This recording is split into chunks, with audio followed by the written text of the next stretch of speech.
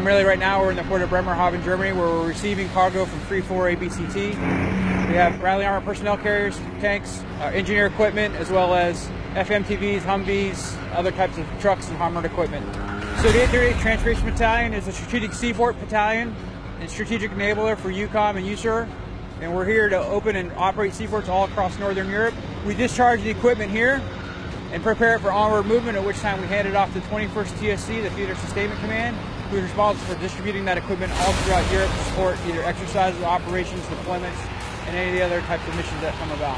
The RSOI is the purpose, the broader purpose is to rapidly receive stage onward move 3rd Brigade, 4th Infantry Division to assembly areas in Poland where they'll build combat power at a speed uh, which frankly we have not been able, nobody's been able to achieve but us, right? It'll be, we're going to spend 10 days at the, here at the port, clearing the port. All in all, from start to finish, this brigade will be ready to fight in 14 days. We're uploading uh, 37 rail cars, uh, trains moving to uh, Poland. The first uh, train is halfway through Germany uh, as we speak. Upon arrival, uh, there's going to be convoys moving out, ground convoys. Those ground convoys will be sustained by 16th Sustainment Brigade as they go.